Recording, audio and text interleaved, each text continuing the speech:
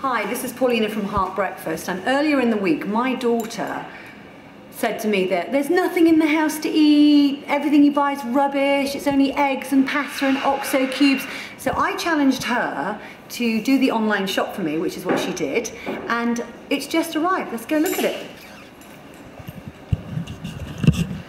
Okay, well here we have the online shop. Do you want to run me past it, Maze?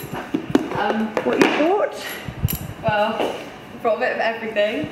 Brought um, tea bags, juice, um, ice cream. I also brought fruit and Let's see, the, salad. what ice cream did you buy? Haagen-Dazs. Okay. Um, fruit and salad, peach slices, Peach slices, which we never usually have. tuna, which we never usually have, but it's nice. Um, jam, toilet rolls, and I went for all the bargain prices. You know, two for one.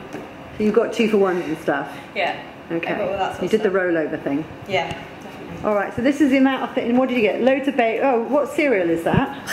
Krave, but the dog's already craved. Okay, chocolate hazelnut. That's pretty good. Be fattening. Brilliant. So I've got to be honest, she's done an amazing job and I will probably let her do it with the full amount of money next week and see how that goes.